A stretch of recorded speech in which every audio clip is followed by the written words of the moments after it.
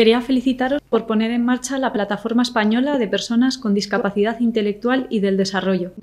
Sin duda, este es un avance histórico y una gran noticia para los derechos de las personas con discapacidad en nuestro país. Esta plataforma representa algunos de los progresos que estamos alcanzando como sociedad en su conjunto. Queremos lograr que las personas con discapacidad seáis protagonistas de vuestras vidas y podáis participar en la vida política y social que seáis, en definitiva, las personas ejerciendo sus derechos, con todos los apoyos y todas las garantías. Por eso quería agradecer a Plena Inclusión que haya dado todo el apoyo a esta iniciativa para hacerla hoy realidad. Además, en este día tan especial me gustaría dirigirme a las personas que vais a liderar la plataforma.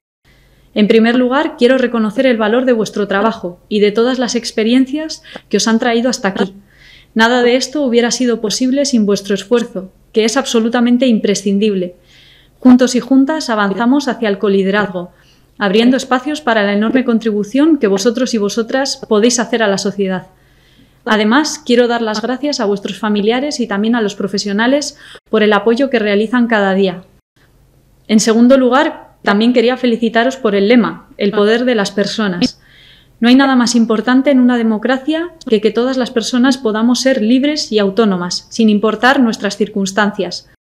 En este ministerio queremos que el bienestar y la inclusión de las personas con discapacidad se conviertan en derechos, es decir, que se reconozcan en las leyes. Por eso hemos cambiado la norma más importante de nuestro país, la Constitución española, para eliminar el término disminuidos y reconocer que proteger la diversidad es proteger los derechos humanos. En España ahora podéis votar, podéis decidir en cuestiones tan importantes como las herencias y se ha eliminado de una vez por todas esa gravísima vulneración de derechos humanos que era la esterilización sin consentimiento. Y también vamos a reformar la ley de discapacidad para que vuestro derecho a tener un trabajo digno sea una realidad para todos y todas. Pero sé que queda mucho por hacer y no vamos a lograr nada de esto sin contar con vosotros y vosotras. Todavía queda mucho por avanzar, por ejemplo, para garantizar la accesibilidad en todas sus dimensiones, cuando tenéis que ir a una consulta en el médico, cuando leéis una sentencia o cuando queréis ir a ver a un museo o un monumento histórico. Por eso vamos a crear el Centro Español de Accesibilidad Cognitiva, un servicio público que contribuirá a que todas y todos podáis convivir sin ninguna barrera.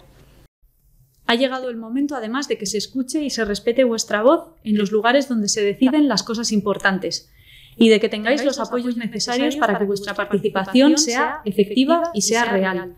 Que decidáis qué queréis ser y cómo queréis vivir y organizaros. Por eso os invito a venir al Ministerio de Derechos Sociales y Agenda 2030 para que podamos charlar, compartir vuestras ideas, sugerencias o quejas.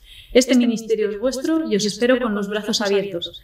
Deseo que hoy tengáis un día muy especial y recordad que, como decís en vuestra invitación, este viaje es solo de ida. Nos vemos pronto.